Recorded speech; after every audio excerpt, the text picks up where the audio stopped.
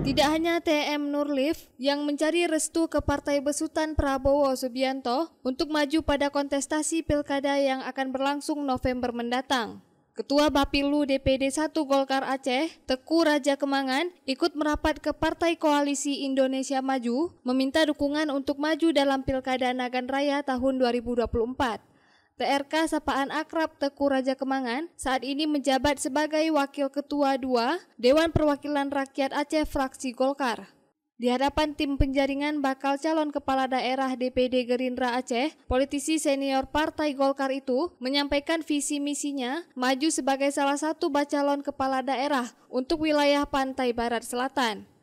Keinginannya maju sebagai calon Bupati Nagan Raya berangkat dari keresahan selama ini dan ingin membuat Nagan Raya bangkit secara ekonomi. Kita berharap Nagan Raya ke depan ini bisa kalau istilah dari Hambo kita Bung Karno dulu ada yang namanya konsep pendidikan berdiri di atas kemandirian ini terutama di aspek finansial anggaran untuk pembangunan ini bisa kita wujudkan di Kabupaten Raya. Ya memang nanti uh, regulasinya kita lihat dulu. Ini memang selama ini betul bermasalah terutama pupuk subsidi ya. Sering sekali pupuk ini hilang di pasaran dan dulu juga beberapa kali saya uh, namanya mengomentari ini di media. Kemudian setelah kita komentari baru mega hukum juga bergerak di lapangan. Dan ada lagi seperti ini.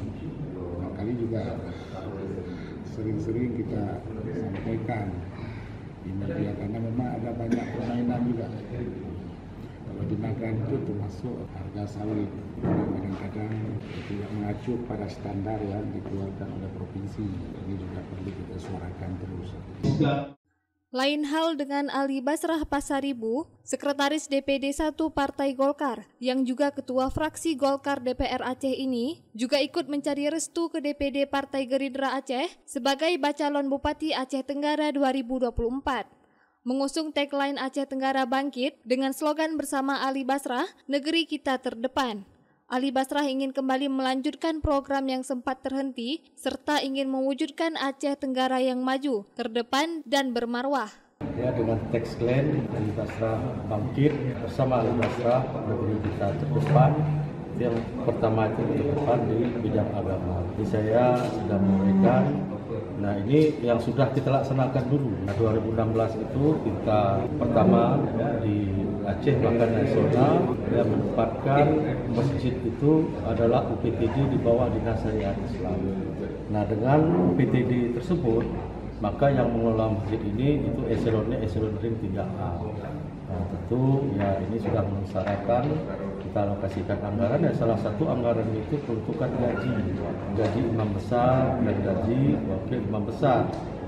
Nah, itu ya di tahun 2016 ya gaji imam besarnya sama dengan gaji bupati wakil imamnya sama dengan gaji wakil bupati. Ini sudah kita lakukan sudah kita laksanakan nah kalau kita terpilih ya tentu ya ini sedapat mungkin ya kita tingkatkan kalaupun tidak ya pertama kita pertahankan gitu. Nah, kalau mau memang kita menjunjung tinggi pemberlakuan syariat Islam ya di Aceh ya Aceh Tenggara adalah ya salah satu kabupaten ya yang harus menegakkan Sesuai catatan dari tim penjaringan bacalon kepala daerah Gerindra Aceh, ada tiga nama kader partai berlambang pohon beringin itu mendaftar serta menyampaikan visi misinya ke Partai Gerindra Aceh. TM Nurlif terdaftar sebagai bacalon gubernur Aceh, Teku Raja Kemangan terdaftar sebagai bacalon Bupati Nagan Raya, dan Ali Basrah Pasaribu terdaftar sebagai bacalon Bupati Aceh Tenggara. Dari Banda Aceh, Lala Nurmala melaporkan untuk Puja TV Aceh.